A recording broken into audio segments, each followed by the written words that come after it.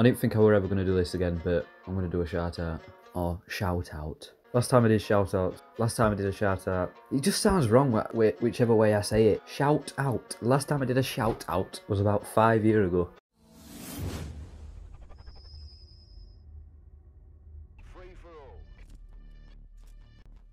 Hey guys, how's it going? My name's and today we have another episode of Shout Out Saturday, which is a weekly series here on my channel where I shout out only one of my subscribers each Saturday.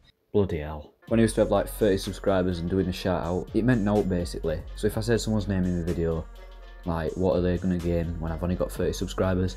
Even though I've got like 2,000, so it means more now. I used to put COD gameplay in the background, so I think it's only fair that we pay tribute to them videos and I'll play a bit of COD. Oh. Oh, now, wait, now. Oh. Oh, I sold it, didn't I? Because it's uh, worst COD I've played in years. I'll just put some FIFA on it top or something. It's the only game that I like right now, and even that's not even best game. So person I'm getting shout out to is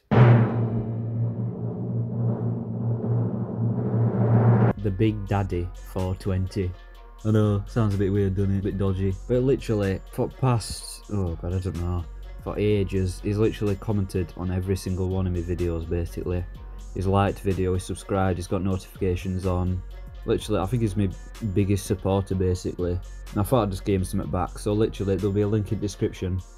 Go down there and subscribe to him and like all his videos. Because literally, I think if you could, if you went on like literally every single one of my videos, like past 10 videos, at least 90% of them videos have his comment and a like on it. So yeah, I thought I'd just give something back to him because he's been such a big supporter.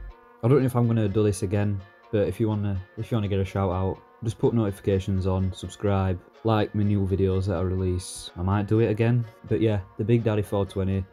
I never really said it before, but cheers.